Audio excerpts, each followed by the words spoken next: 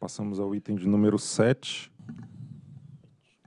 que trata de requerimentos administrativos que foram interpostos pela Associação Brasileira de Energia Limpa, Bragel, Central Elétrica Anhanguera S.A., Hidrelétrica Malagônia S.A. e Santa Helena Energia S.A., com vistas ao parcelamento de débitos no mercado de curto prazo da Câmara de Comercialização de Energia Elétrica. Faltou elétrica.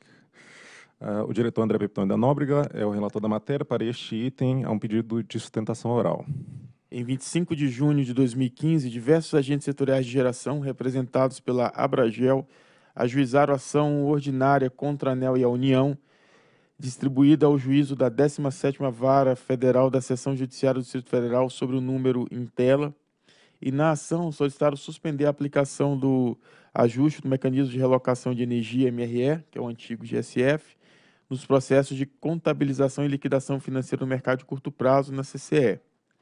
O pedido de antecipação de tutela liminar foi indeferido pelo juízo de primeira instância, mas deferido pelo TRF da primeira região, nos autos do agravo de instrumento em tela. Em 15 de julho de 2016, o STJ, nos autos da suspensão de liminares e sentença número 2162-DF, suspendeu a decisão proferida pelo TRF no agravo de instrumento em tela. Dessa maneira, tornaram-se, portanto, exigíveis dos associados da Bragel os débitos acumulados pela aplicação do ajuste do MRE no curto prazo. E por meio de correspondência de número 39, de 15 de, de 5 de agosto de 2016, a Abragel requereu parcelar a exposição financeira decorrente do risco hidrológico. Em decorrência do pedido da Bragel, a diretoria colegiada na 33ª reunião pública ordinária realizada em 6 de setembro de 2016 instaurou a audiência pública 57 de 2016 para colher subsídios a fim de aprimorar a regra sobre o parcelamento das exposições financeiras no mercado de curto prazo relacionadas ao risco hidrológico. Como resultado, foi publicada a Resolução Normativa 736 de 2016 vigente até 31 de dezembro de 2016, que estabeleceu condições para parcelar os débitos acumulados pelos participantes do MRE que não optaram pela repactuação do risco hidrológico nos termos da Lei 13.203 de 2015. Registra-se, não obstante o pedido para parcelar os débitos, a Bragel impusera em 27 de julho de 2016 a reclamação 24781 no STF contra a decisão proferida pelo STJ nos autos da suspensão de liminar 2162. E em decisão cautelar publicada em 16 de agosto de 2016, a presidência do STF suspendeu a decisão do STJ. Ocorre que em 18 de dezembro de 2017, o STF negou o requerimento da reclamação e tornou sem efeito a decisão cautelar publicada em 16 de agosto, razão pela qual se tornaram novamente exigíveis dos associados da Abragel os débitos acumulados pela aplicação do ajuste do MRE no mercado de curto prazo. Dessa maneira, em 18 de dezembro de 2017, a CCE contabilizou e divulgou os valores para o aporte das garantias financeiras referentes à liquidação no mês de referência novembro de 2017 no mercado de curto prazo, a serem aportados até 21 de dezembro de 2017.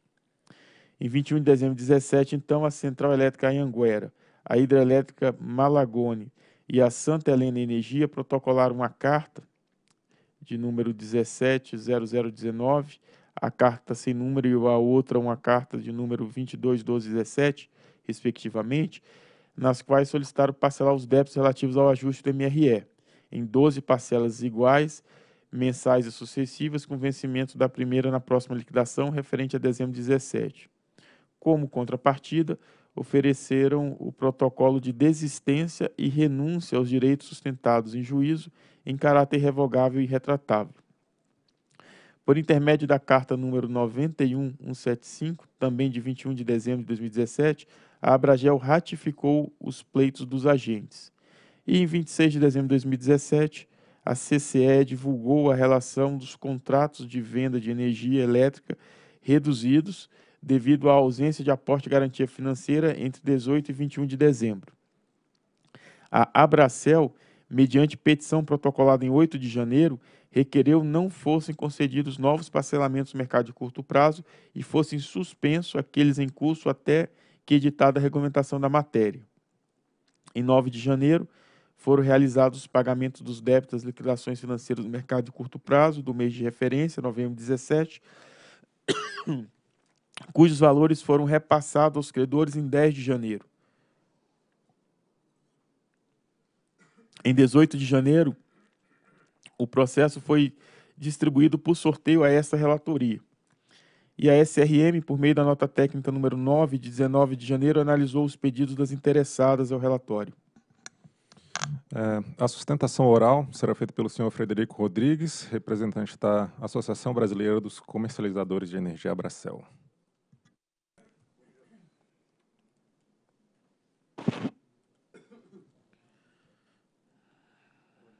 Não, piorou agora. Bom dia a todos. Ah, a razão do nosso pedido, como tá, foi colocado aí na exposição dos fatos, nós pedimos, aliás, para no, no, nos escrevermos para o próximo item da pauta, então peço ao, ao secretário-geral que considere é, é, fazer uma sustentação só, é, o assunto é o mesmo. Nós, é, nós somos favoráveis ao parcelamento de, de débitos na liquidação, apenas achamos que isso são créditos privados, que, não, que o local para a decisão não é a ANEL. Então, nosso pedido é que isso seja endereçado aos credores, é, no âmbito da CCE. É, vimos que no, no processo tem uma nota técnica da SRM, que também recomenda é, negar o parcelamento e propor uma regulamentação é, dessa matéria aí pela ANEL, endereçando qualquer caso desse de parcelamento é, à CCE, pelo motivo que eu expus, são créditos privados, débitos privados, e o, o, achamos que o regulador não deveria é, é, decidir aí sobre a matéria sem ouvir os credores. Ok? Obrigado. Obrigado, Frederico. Procuradoria. Trata-se de pedido de parcelamento de débitos no mercado de curto prazo relacionados ao risco hidrológico. E conforme relatado, as geradoras requerentes estavam protegidas por uma decisão judicial liminar, a qual posteriormente teve seus efeitos suspensos por uma nova decisão proferida pela presidência do Superior Tribunal de Justiça.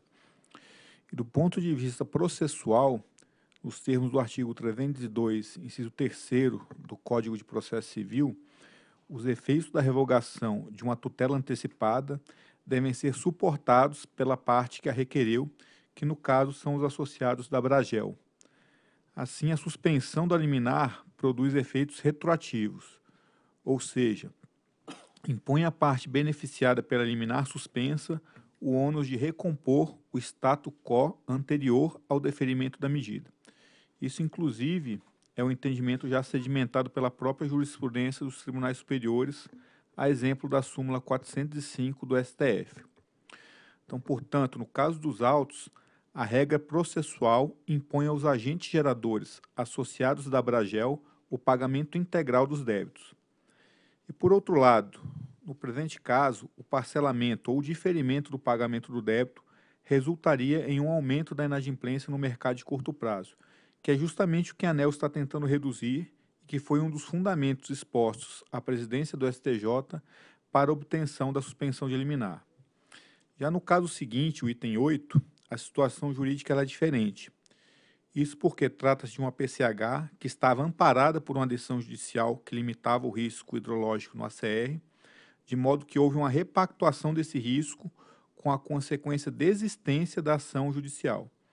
Então, são dois casos distintos. Enquanto nesse caso trata-se de uma revogação da liminar cujos efeitos são retroativos, o caso seguinte trata de uma desistência da ação com efeitos benéficos para a redução da inadimplência, já que antes da desistência o agente possuía um liminar favorável.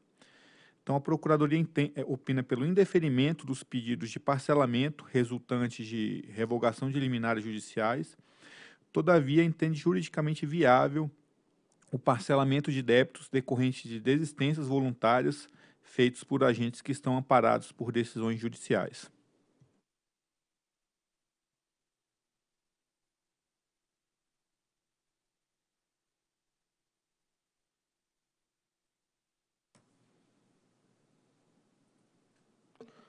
Bom, em resumo, As interessadas solicitaram fosse determinada a CCE parcelar em no mínimo 12 parcelas iguais e sucessivas os débitos decorrentes da aplicação do ajuste do MRE, que é o GSF, acumulados no mercado de curto prazo em razão de medidas judiciais liminares cuja vigência foi cassada. Consoante informação apresentada pela CCE, as tabelas 1, 2, 3 e 4 apresentaram os montantes de garantia financeira a serem aportados pelas interessadas até 21 de dezembro, os montantes efetivamente aportados, os ajustes nos contratos devido à ausência do aporte de garantias e os valores a liquidar no mercado de curto prazo em 9 de janeiro pelas interessadas. Então, a tabela 1 traz as, a informação sobre a garantia financeira. E aqui na segunda coluna é o aporte solicitado de garantias financeiras no mercado de curto prazo. E na primeira coluna é o impacto financeiro devido à perda da liminar do GSF. A tabela 2 traz as garantias financeiras e a posição da liquidação. Então, tem o aporte solicitado e o valor efetivamente aportado.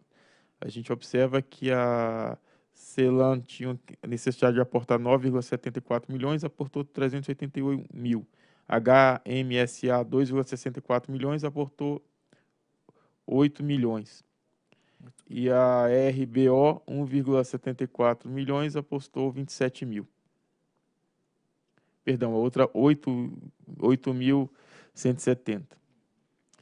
Então, a tabela 3, é, contratos ajustados, é, conforme resolução 622, então está aqui o montante ajustado reduzido em megawatt-hora de cada um dos contratos. E depois a posição da liquidação no, no mercado de curto prazo.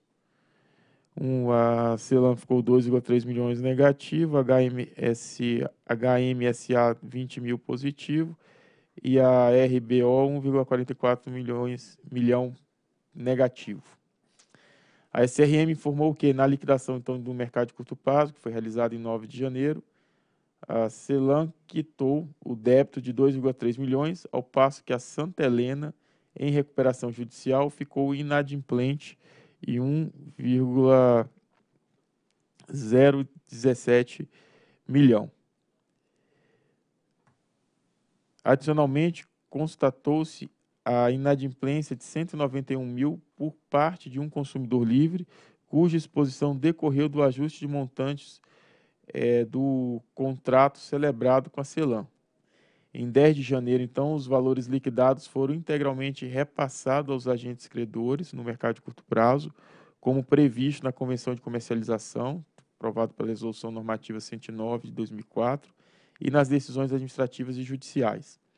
A SRM destacou na nota técnica número 9 de 2018 que os pleitos das interessadas implicariam a necessidade de recontabilizar o mês de referência novembro de 2017, com devolução a, a dos, com a devolução dos recursos recebidos pelos credores, procedimento ca caracterizado como portador de sinal regulatório inadequado pela superintendência.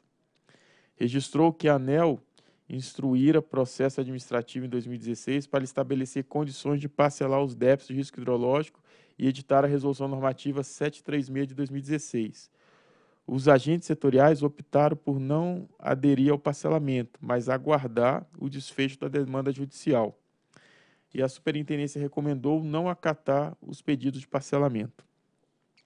Deve-se observar que na décima reunião pública ordinária, que foi realizada em 29 de março de 2016, essa diretoria colegiada analisou a, a questão relativa a eventuais pedidos de parcelamento de débitos no mercado de curto prazo, referente às liminares do GSF, extinta em razão do acordo envolvendo a repactuação do risco hidrológico, nos termos da Lei 13.203 de 2015. E, na oportunidade, em voto proferido pelo diretor Tiago, estabeleceu-se algumas condições, que era admitir o parcelamento em seis parcelas, acompanhando-se um ajuste mensal de 1% adicionado ao IGPM. E essa decisão foi materializada no despacho 758 de 29 de março de 2016, que permitiu o parcelamento dos débitos em seis parcelas, com atualização do saldo devedor remanescente pelo IGPM e juros de 1% ao mês pro rata dia. e recentemente, a, a diretoria também, em 21 de novembro, tomou uma outra decisão sobre repactuação de risco hidrológico e decidiu autorizar o parcelamento de débitos do GSF em até seis parcelas, com a mesma metodologia, né, com atualização pelo GPM, juros de 1%, foi no caso da Norte Energia, em voto proferido pelo diretor Reive. E a decisão foi materializada no despacho 3.897 de 2017. Percebe-se, portanto, que essa diretoria colegiada vem firmando jurisprudência quanto à possibilidade de se deferir o parcelamento em até seis liquidações dos débitos acumulados no mercado de curto prazo em decorrência de medidas judiciais liminares relativas ao ajuste do GSF extintas em razão da repactuação do risco hidrológico. A ênfase na repactuação é relevante, haja vista que a jurisprudência vem se consolidando no sentido de que os parcelamentos podem ser deferidos mediante acordo entre a administração pública e os agentes setoriais. Nos acordos, os agentes decidiram espontaneamente abrir mão de eventual decisão judicial que suspendesse a exigibilidade da aplicação do ajuste do GSF e ainda desistir e renunciar aos direitos sustentados em juízo. No caso, observa-se que as interessadas optaram por não aderir ao parcelamento autorizado pela Resolução 736 de 2016 é aquilo que o procurador muito bem pontuou em sua fala, doutor Marcelo Escalante. Ou seja, aqueles agentes que estão protegidos sob liminar, que abrirem mão da, da liminar e desistirem da, da contenda em juízo, a agência tem, então, é o que tem se consolidado, se consolidando aqui como jurisprudência, a agência tem autorizado o parcelamento em seis vezes com essas condições, 1% mais o GPM. No caso que está em apreço, Observa que as interessadas optaram por não aderir ao parcelamento que foi autorizado lá em 2016 e somente após recente insucesso judicial, ou seja, não estavam mais aparadas por liminar, ofereceram como contrapartida pedi o, o pedido de parcelamento, o pedido de parcelamento, a desistência e a renúncia aos direitos da sustentados em juízo. Ocorre que as interessadas não estão mais protegidas por uma decisão judicial. Então, é, é muito importante que nessa decisão se compreender essa sutileza. Entende-se que, após longo, o longo e o árduo debate judicial da questão, com decisões favoráveis à União e ANEL emitidas pelo STJ, tanto pelo STJ quanto pelo STF, a contrapartida oferecida não é suficiente para justificar o parcelamento solicitado, sobretudo quando se verifica que as interessadas, após a, a redução dos respectivos contratos, já inclusive quitaram os débitos no mercado de curto prazo, ou seja, dos três casos, dois já quitaram o débito. Não faz sentido fazer o parcelamento, mas a gente já teve seu débito quitado, à exceção da, da Santa Helena, que está em recuperação judicial. Aí tem tem esse débito, porém, eh, o caso da Santa, da Santa Helena sensibiliza a gente em razão da recuperação judicial. Mas a Santa Helena tem meios de buscar o parcela, eh, no âmbito da recuperação judicial, né, a, a questão da quitação desse débito. Então, senhores diretores, considerando que os agentes quitaram o, o débito, deve-se indeferir os pedidos de parcelamento. E a principal razão é o fato de terem aguardado o insucesso judicial para depois vir na agência buscar o parcelamento, enquanto os outros agentes que tiveram deferido o pleito, não. Esses agentes, ainda que protegidos, abriram mão da proteção e renunciaram ao processo judicial, optando pela dirimir a questão no âmbito administrativo. E é esse o sinal regulatório que busca se apresentar ao mercado. Com apoio nessa fundamentação e no disposto no processo 48.500.000142-2016 de 38, voto por conhecer do requerimento administrativo interposto pela Abragel, pela Central Elétrica Anhanguera, pela Hidrelétrica Malagone e pela Santa Helena em recuperação judicial e no mérito negar-lhe provimento. É o voto. Em discussão. Aqui, Sim. diretor André, eu queria é, fazer coro à, à análise apresentada no voto, especialmente para esses dois, dois pontos que eu acho que são bastante significativos. primeiro se trata de agentes que não fizeram repactuação. Até em, em atenção à, sustentação oral do representante da, da, da, da Bracel, eu acho que é possível tratar no âmbito privado ainda disso. Né? O caso Santa Helena, que tem alguma dificuldade, ela vai lá recorrer, inclusive ao juiz lá de recuperação. Agora, do ponto de vista regulatório, o mais significativo, aí fazendo exatamente as suas palavras, é o sinal regulatório que se pretende. Então, o sinal regulatório que a gente gostaria de informar é que é melhor recorrer a, ao acordo e não esperar terminar o litígio e aí pedir socorro. Em relação a isso, cabe até informar que a gente já peticionou para estender essa decisão também aos demais agentes. Então, aí esse sinal regulatório se torna muito importante, porque ele extrapola o caso concreto dessas três pequenas centrais hidrelétricas. Então, eu queria só fazer esse destaque e dizer que corroboro com o entendimento do voto.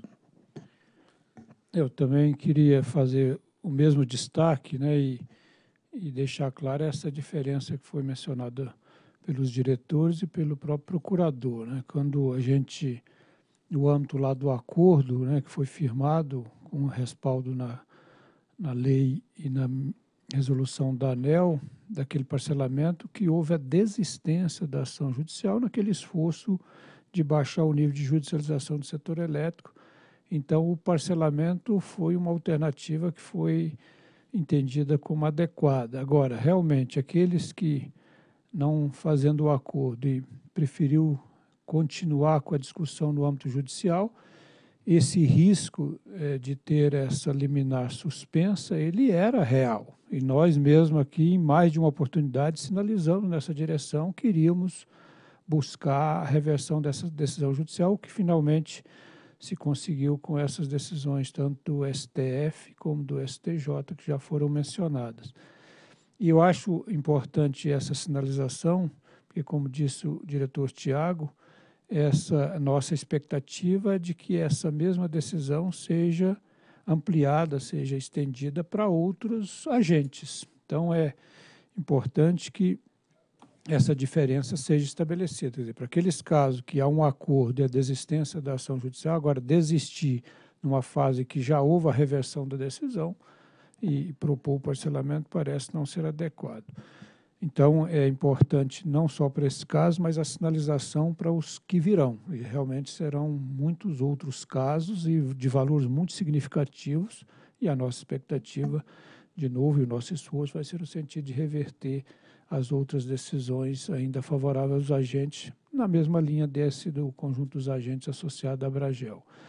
Bem, e a outra questão que foi também objeto de sustentação oral, com a tese eu também concordo. Nós já sinalizamos em outras oportunidades aqui, mais de uma vez, a área, a, diretoria, a área técnica também, é, o nosso orientação, o nosso desejo de que esse assunto de parcelamento, por ser realmente crédito privado, como foi mencionado, seja tratado no âmbito da CCE. Então, isso é uma matéria que deveria ser tratado lá e a Assembleia deliberar uma forma de tratar essa questão do parcelamento. Então, é claro que a, diretoria não pode abrir mão da sua prerrogativa em situação muito excepcional, ter que tratar essa questão para garantir a continuidade do funcionamento do mercado. Tem situações muito especiais que talvez justifica essa medida, mas não é o desejável, eu acho que não é a coisa que deve ser em regime. Né? Isso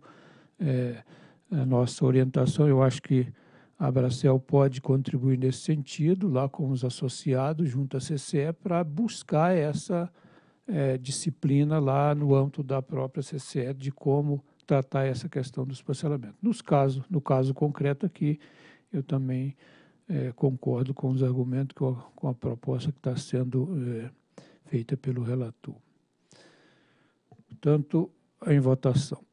Eu voto com o relator. Também voto com o relator e proclamo que a diretoria decidiu por conhecer dos requerimentos administrativos interpostos pela Associação Brasileira de Energia Limpa, Abragel, pela Central Elétrica Anhanguera S.A., pela Hidrelétrica Malagone S.A. e pela Santa Helena Energia S.A. em é, recuperação judicial, essa última, né, e no mérito negar-lhe provimento. Próximo item.